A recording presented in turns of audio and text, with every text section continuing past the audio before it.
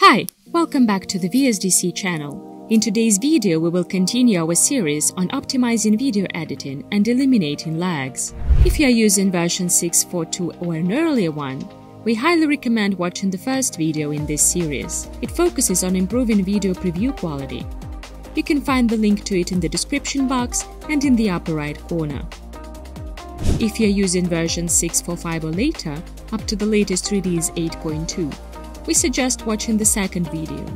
This video specifically addresses video preview lagging. You can find the link to it in the description box and in the upper right corner as well. For those of you who have already updated to version 8.2, this video is tailored to your needs. We will discuss the exciting new feature of proxy file support, which significantly enhances the software performance when editing high-resolution files. So let's dive into the world of proxy files and discover how they can revolutionize your video editing experience. Let's start by explaining what proxy files are. Proxy files are lower resolution versions of your original video files. They are created to make editing smoother, especially when working with high resolution footage. Using proxy files helps reduce the strain on your computer, which can cause lagging and playback issues. Despite being lower in quality, these files maintain the same timing and synchronization as the original, ensuring a seamless editing experience, even with 4K files on less powerful computers. Let's explore how to work with proxy files in the new version of VSDC. When starting a project, you will notice a new field called Proxy Path. It indicates the storage location for proxy media files added to the project. You can easily change this path by clicking the three dots button and selecting a different folder. To modify the path during editing, follow these steps. Click on the project name in the Projects Explorer, go to the Properties window, look for the Proxy Media Path option.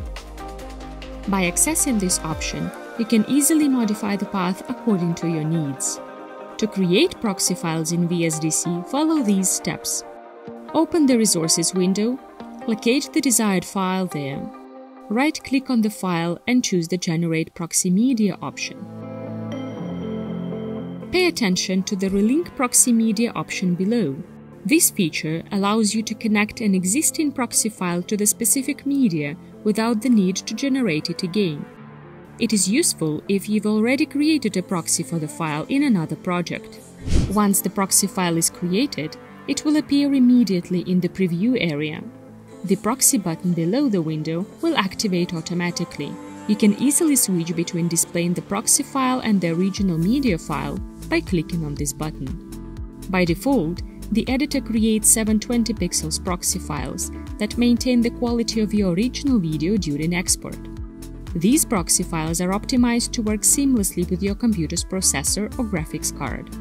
If you encounter any lagging issues, or if you want to customize the proxy settings to better suit your needs, the next section of this video will provide detailed instructions and recommendations. Let's go to the Options menu located in the upper right corner and find the new parameter called Proxy Options. Here you will find all the settings we'll go through one by one. For the preview, you can choose from 7 different quality options, ranging from original quality to 144 pixels.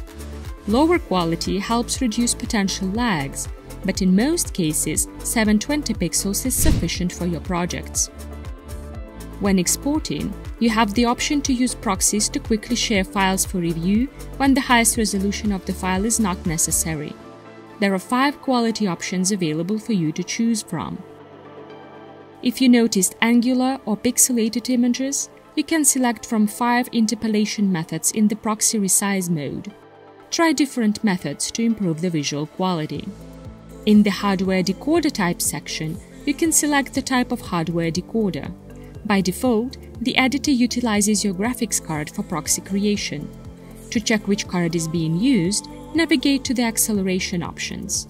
The Use Video Card for HW Processing checkbox will indicate the card in use. Whether the checkbox is enabled or disabled, the software will still utilize the graphics card for proxy processing. In the proxy media format, you can choose the codec for creating proxy video files. The options include H.264, H.265, and DNxHR. DNxHR codecs offer different quality profiles, while the selection of H.264 and H.265 codecs depends on the graphics card chosen in the acceleration options. Although the H.264 and H.265 codecs may result in slightly larger file sizes, they provide faster processing on modern hardware. Take your time to explore and adjust these settings according to your preferences and the specific requirements of your projects. Once you have made the desired changes, click OK button to apply the settings. To see the results in action, you need to generate the proxy media once again in the Resources window. It is important to note that there is no one-size-fits-all solution that works perfectly for every PC. If you continue to experience lags or encounter other issues, we recommend reaching out to our support team.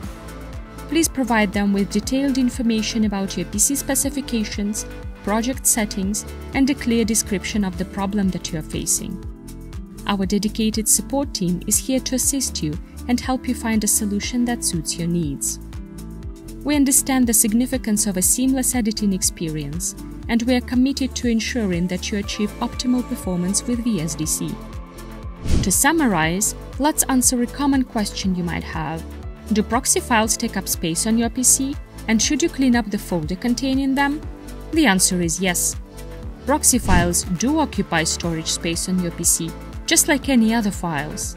If you accumulate a large number of proxy files, they can consume a significant amount of storage.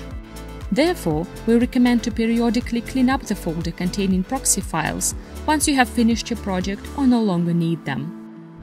We value your feedback and would appreciate hearing from you. If you have any questions, please let us know in the comments section. Remember to give this video a thumbs up and subscribe to our channel for more helpful content.